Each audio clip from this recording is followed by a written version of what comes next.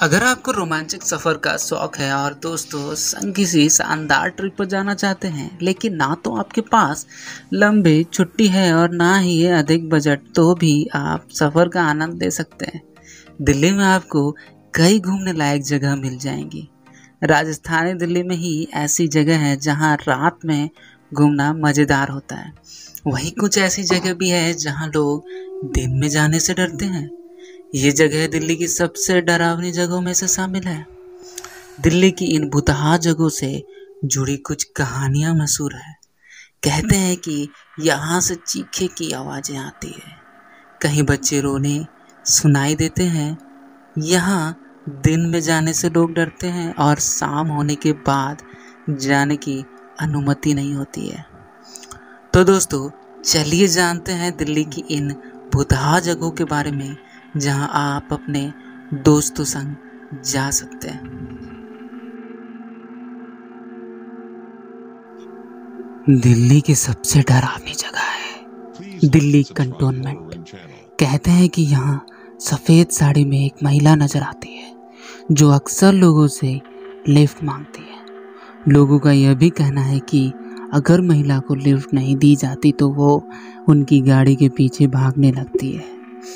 महिला की स्पीड, गाड़ी की स्पीड जितनी तेज़ हो जाती है, लोगों के लिए ये काफ़ी भयानक अनुभव रहता है।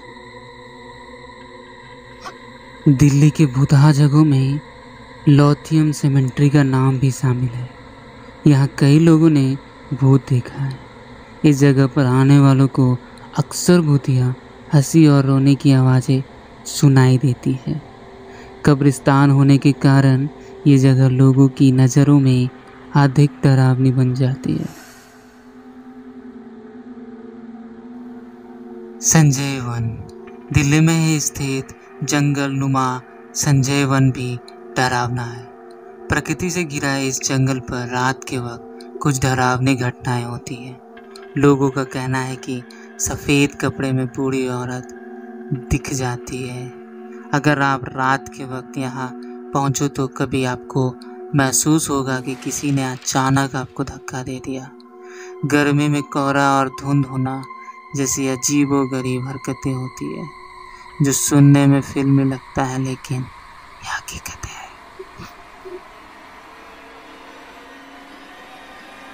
खूनी दरवाज़ा।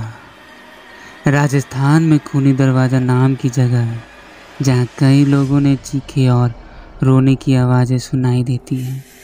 कहते हैं कि तीन राजकुमारों की यहाँ बेरहमी से हत्या कर दी गई और स्वतंत्रता सेनानियों को फांसी दे दिया गया।